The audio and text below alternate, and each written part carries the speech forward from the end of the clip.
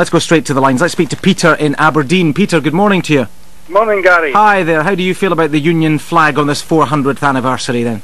Well, I feel very positive about the flag. I'm proud to be Scottish and proud to be British. That's my view of my own nationality, and I think it's up to each individual Scot to decide for themselves whether they consider themselves British. Now, I've flown the Union flag many times proudly, and in a few times I've even got into trouble uh, for, for, doing so. I do believe there's a certain amount of intolerance out there, a problem with the, the Scottish body politic, if you like. Um, it, it, was great, for example, that we uh, paraded both flags to the opening of the Scottish Parliament, the Saltire and the Union flag.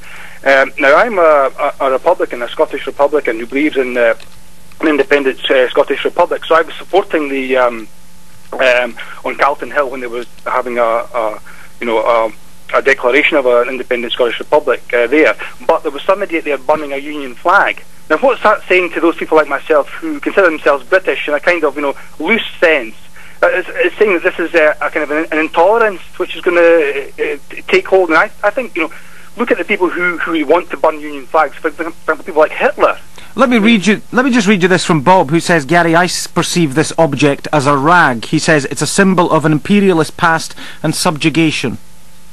Well, um, I, I, think we, we, should move away from imperialism. I think we should end the United Kingdom. I'm, I'm a Republican. I don't believe in the kingdom, but I think with, with a, uh, a new British Republic, a kind of a loose republic along the lines of the European Union. I mean, for example, you can fly the European Union flag. No one says that takes away France's independence or Germany's or Italy's independence. I think we could have an independent Scotland, and for those uh, Scots that want to feel themselves British, uh, then they can fly the Union flag, and they shouldn't get any hassle for it. I mean, so, too much emphasis placed on this one particular flag, you believe?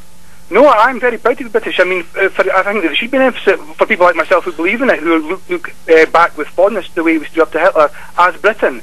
And I believe in the future um, there's still going to be a need for some kind of Britain you know, to, to run our, for example, aircraft carriers, our nuclear independent deterrent. There's still going to be need for some kind of Britain. Well, let's say there is a new settlement then, and you know a, a, a looser relationship, however you want to look at it. Uh -huh. Would that not mean that perhaps it would be time to reconsider the flag itself?